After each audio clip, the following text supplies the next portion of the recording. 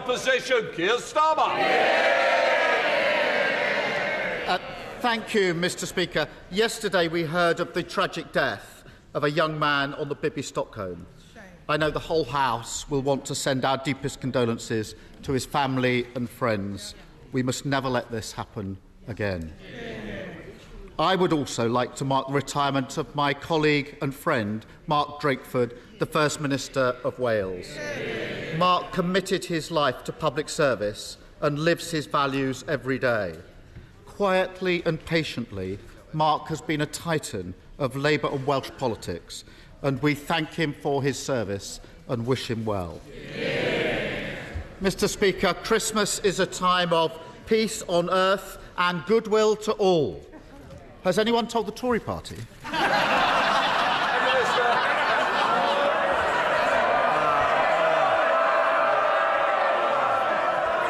Well, Mr. Speaker, Christmas, Mr. Speaker, Christmas is also a time for families, and under the Conservatives, we do have a record number of them, Mr. Speaker. Mr. Speaker, but it's important. Year, at the beginning of the year, I set out some priorities that this government would deliver for the British people. And over the course of this year, we have, Mr. Speaker, inflation halved, Mr. Speaker, the economy growing, debt falling, action on the longest waiters, the boats down by a third, and crucially, as we heard from Honourable Friend, tax cuts coming to help working families in the new year.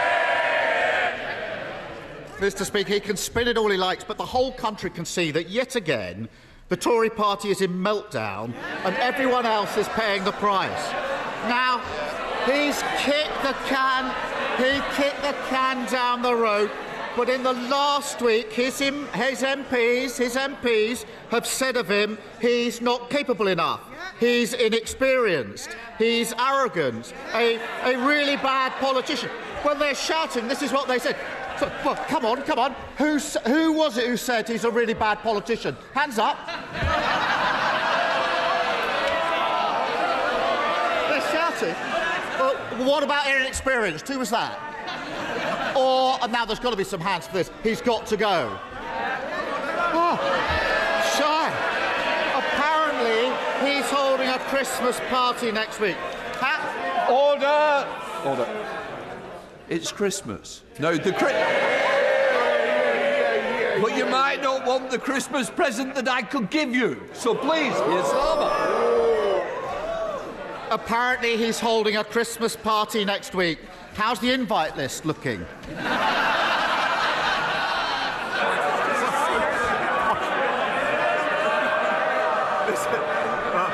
Mr. Speaker, I, uh, I, I, I, thank the uh, honourable gentleman for all the comments. Uh, what I would say to him, he should hear. He should hear. I, he should hear what they have to say about him, Mr. Speaker.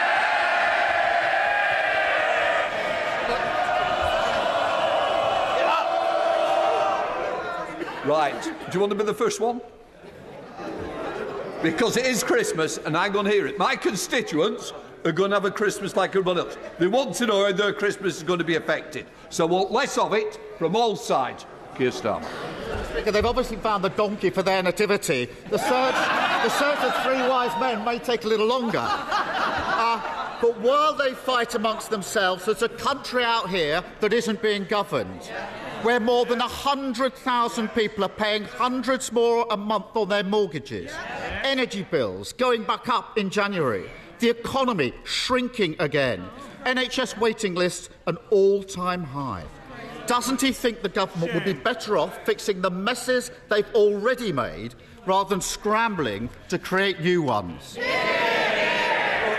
Mr. Speaker, he talks about governing and spent the first two questions talking about political tittle tattle, Mr. Speaker joke. Well, let's get on to the substance, Mr. Speaker. Let's get on to the substance. He mentioned the things. What is the news that we've just heard in the last week? Well, what's the most important thing? The most important thing is education, Mr. Speaker, because that's how we spread opportunity in our country. And what have we yeah. learned? Where are the schools performing best in the United Kingdom? In England, Mr. Speaker, thanks to the reforms of this Conservative government rising up the league tables, giving our kids the start they need. And where are they plummeting down? In Labour run Wales. He, he talks about children. Nearly 140,000 children are going to be homeless this Christmas. That is more than ever before. That's a shocking state of affairs, and it should shame this government. Instead of more social housing, house building is set to collapse. Instead of banning no fault evictions, thousands of families are at risk of homelessness. Rather than indulging his backbenchers swanning around in their factions and their star chambers, pretending to be members of the mafia, when's he going to get a grip and focus on the country? Let's just look at the facts. Let's look at the facts, actually, because rough sleeping, rough, sleeping in this country is down by 35%, Mr. Speaker, since its peak, thanks to the efforts of this government. There are hundreds of thousands of fewer children in poverty today, thanks to this government, Mr. Speaker. And when it comes to home building, again, what are you doing? We just had the data this last week in the last year. An almost record number of new homes delivered, Mr. Speaker, more than in any year of the last Labour government. 140,000 children homeless this Christmas, and he's utterly tone deaf. And the rise in homelessness shows how these Tory crises merge and grow and damage the country. Families like the Bradys in Wiltshire, both parents working full time, with two young children, forced out of their home of 15 years by a no fault eviction, now living in their van. Or 11 year old Liam Walker, homeless this Christmas. He wrote a letter to Santa saying, Please, can I have a forever home? I don't want any new toys. I just want all my old toys out of storage. I just want us to be happy again. Is there anything that could shame this government into putting the country first, then it's surely this little boy. Mr. Speaker, if he really cared about building homes, no, no, no, no, no, no, no, no. If he really cared about building homes, when, when there was an opportunity in this House, Mr. Speaker, in this House to back our plans to reform defective EU laws, to unlock 100,000 new homes, Mr. Speaker. What did he do? What did he do? He went in front of the cameras and said one thing and came in here and blocked it. Typical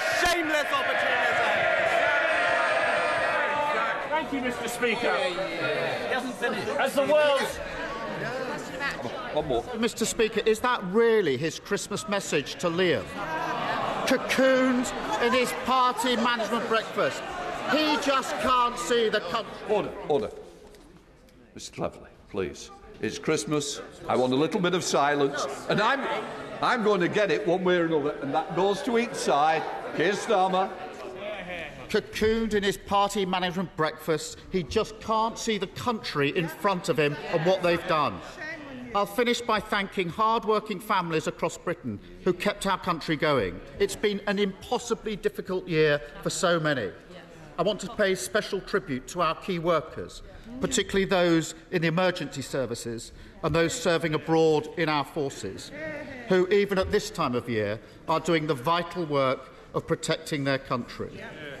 I wish everyone, including the members opposite, a very happy and peaceful New Year. Will the Prime Minister join me? Prime Minister. I think. I, th- I, I think, Mr. Speaker, he, mi- he, missed, he, mi- he missed that I paid tribute to our emergency workers at the beginning of the session, Mr. Speaker. But let's see, no, because I think it is important, because he talked about working families. Of course, Mr. Speaker, I want to make sure that we support working families, and that's what we're actually delivering, Mr. Speaker, because all he has to offer them is borrowing £28 billion a year which all it will do is push up their mortgage rates and push up their taxes. Meanwhile, what have we done? Delivered tax cuts for millions of working families, boosted the national living wage, Mr. Speaker, recruited 50,000 more nurses, 20,000 more police officers, improved our schools. We've cut the cost of net zero for those working families. We've cut the boat crossings by a third and we've halved inflation. And that's the difference, Mr. Speaker. We're getting on and delivering for working Britain.